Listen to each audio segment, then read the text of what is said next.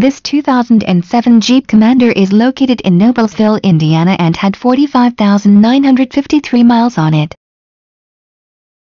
This has a beautiful green exterior paint color which is complemented by an interior color.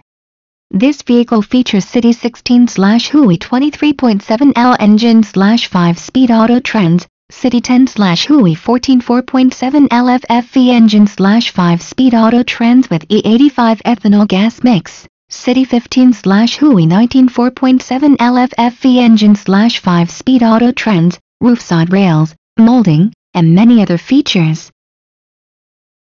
For more information on this great please click the link below.